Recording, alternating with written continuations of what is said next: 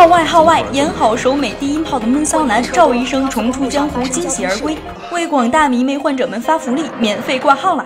你还在为没平可舔而饱 受相思之苦吗？你还在为嗲照名草有主而心灰意冷吗？你还想在嗲照面前犯花痴吗？机会来了，赵医生的号赶快挂起来！这不，刚一出诊，一枚花痴女就来开撩了。这狐狸精不应该都是女的吗？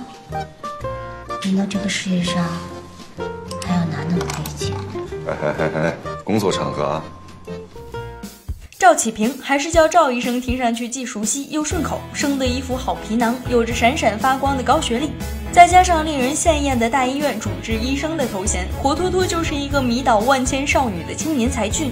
不同于寻常的稀有品种书呆子博士，赵医生把超高学历转化成了超强魅力，一身白大褂，风度翩翩，一副好皮相，秒杀众人，满腹诗书气自华。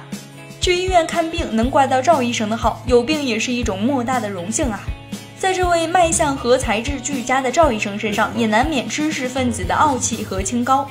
所以，工作中的赵医生虽然表面上风度翩翩、诚实可靠，实则是一位一本正经、严肃认真、尽职尽责的面瘫医生。面对花痴美少女曲筱绡的主动勾搭，竟然也能不动声色，一展自己万人迷帅哥的超强抵抗力。不用。你这种问题连药都不用开，好好养着就行。这两年少走路。赵医生济世救人，却不自高一筹，心有底线而又绝不矫情。他会因手术失败病人去世难过失落，也会对生活困难交不起手术费的病人伸出援助之手。工作之余的赵启平和那个一本正经的帅哥医生，可是形成了鲜明对比，简直就是人格分裂症。生活中的他活得有滋有味，绝不含糊，能疯能玩能泡吧，听得了古典乐，看得了黄暴漫画。Oh my god！我看了好几本都是日本的原版漫画，那么黄暴不是？你都买到了？当然。太好了，我现在正需要它。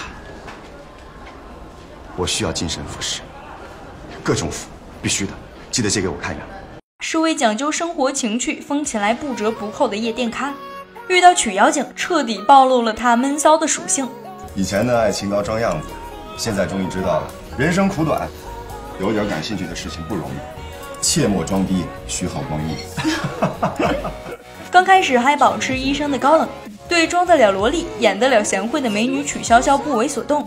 可在战斗力十足的曲妖精穷追不舍下，赵医生节操不保，终于抵不住曲妖精的百般诱惑，拜倒在她的石榴裙下。见了三次面就上演滚床单大戏，秀起恩爱来直辣眼睛，让在一旁的安迪为兄情何以堪？我要带把月亮惩罚你。曲妖精说：“被妖精盯上的可是唐僧，可人家唐僧面对那么多妖精的青睐，也佛心未改。”怎么取妖精的唐长老这么快就被拿下，与妖精永结尘缘，双宿双飞了呢？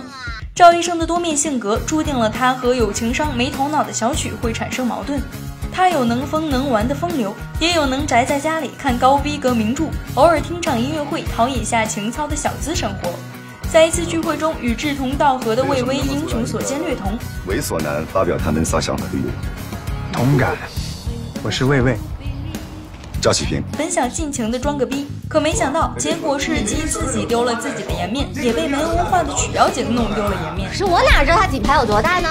哪怕你没文化，虽然赵医生时不时嫌弃曲妖精没文化，但情商胜他一筹的曲妖精可是把他拿捏的妥妥的。主动贴上去时百般嫌弃，即使是一哭二闹就差上吊，也挽不回赵医生那颗受伤的傲娇自尊心。那就来个欲擒故纵，或者是拉个备胎来冒充另有新欢。我终于以后不用下班在车就从后门溜走了。那男的是谁啊？果不其然，赵医生真的坐不住了，立刻主动扑上去了。他也许就是传说中的犯贱吧。挺有自知之明的嘛。唐长老与曲妖精已经开启狂撒狗粮的模式，不知以后会不会再度嫌弃曲妖精？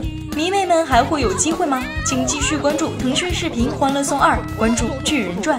每天盼望奇迹，我要激情，还有一点点游戏，